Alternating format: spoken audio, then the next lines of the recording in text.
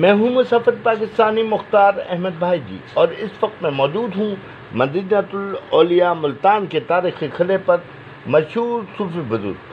हज़रत बहाउद्दीन जकरिया मुल्तानी अलैह और हज़रत शाह रुकन आलम रहमत के मज़ारात के एन दरमियान एक मामूली सी इमारत मगर ये मामूली दिखने वाली इमारत हरगिज़ हरगिज़ मामूली नहीं, क्योंकि ये सुन्नी हमली तरक़त के मरूफ बुज़ुर्ग गौसल आज़म, जो कि सिलसिला कादिया के बानी भी थे, हज़रत अब्दुल कादिर गिलानी के उस लगाह जहाँ वो ख़ुद भी इबादत फरमाते थे और पूरे बरसग़ीर पाक हिंद के औलिया कराम यहाँ चिल्ला कशी के साथ साथ रमज़ान मुबारक में इतकाफ़ में बैठा करते थे।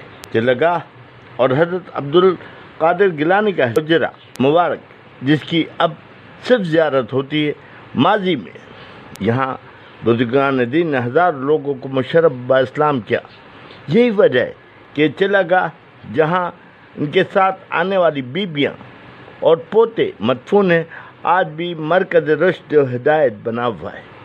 और अकीदतमंदों की एक बड़ी तादाद रोज़ाना की बुनियाद पर यहाँ हाजिरी दे रही है।